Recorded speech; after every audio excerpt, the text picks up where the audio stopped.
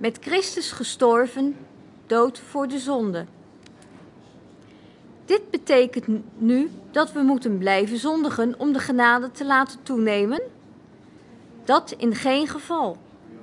Hoe zouden wij, die dood zijn voor de zonde, nog in zonde kunnen leven? Weet u niet dat wij die gedoopt zijn in Christus Jezus zijn gedoopt in zijn dood? We zijn door de doop in zijn dood met hem begraven om, zoals Christus door de macht van de Vader uit de dood is opgewekt, een nieuw leven te leiden. Als wij delen in zijn dood, zullen wij ook delen in zijn opstanding. Immers, we weten dat ons oude bestaan met hem gekruisigd is, omdat er een einde moest komen aan ons zondige leven. We mochten niet langer slaven van de zonde zijn. Wie gestorven is, is rechtens vrij van de zonde. Wanneer wij met Christus zijn gestorven, geloven we dat we ook met Hem zullen leven, omdat we weten dat Hij, die uit de dood is opgewekt, niet meer sterft. De dood heeft geen macht meer over Hem. Hij is gestorven om een einde te maken aan de zonde, voor eens en altijd. En nu Hij leeft, leeft Hij voor God. Zo moet ook u zelf zien. Dood voor de zonde, maar in Christus Jezus levend voor God. Laat de zonde dus niet heersen over uw sterfelijk bestaan. Geef niet toe aan uw begeerten. Stel uzelf niet langer in dienst van de zonde als een werktuig voor het onrecht, maar stel uzelf in dienst van God.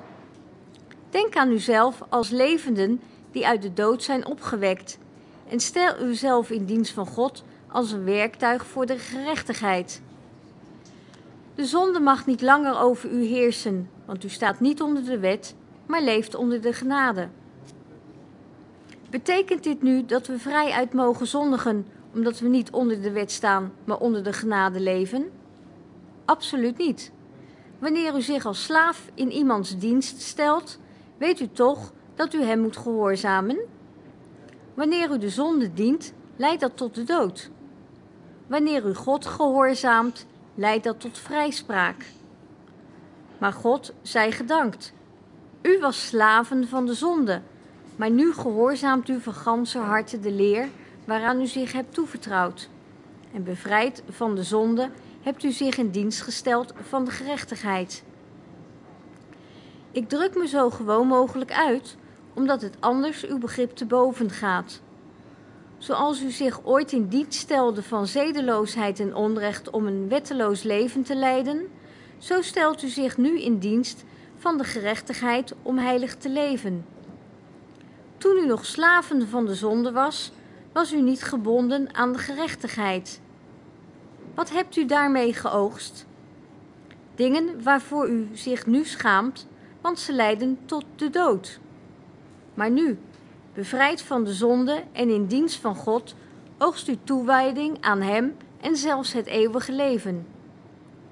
Het loon van de zonde is de dood, maar het geschenk van God is het eeuwige leven in Christus Jezus onze Heer. Weet u dan niet, broeders en zusters, ik spreek immers tot mensen die de wet kennen, dat de wet alleen gezag over een mens heeft zolang hij leeft?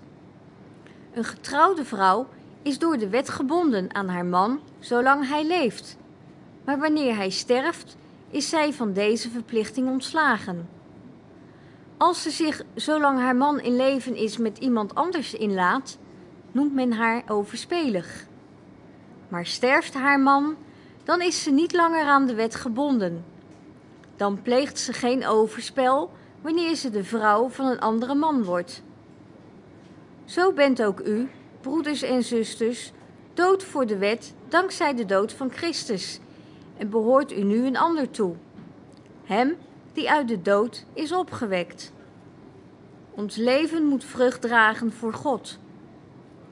Toen we ons nog lieten leiden door onze eigen wil, werd ons bestaan beheerst door zondige hartstochten die de wet in ons opriep en droeg het alleen vrucht voor de dood. We waren aan de wet geketend, maar nu zijn we bevrijd. We zijn dood voor de wet, zodat we niet meer de oude orde van de wet dienen, maar de nieuwe orde van de geest.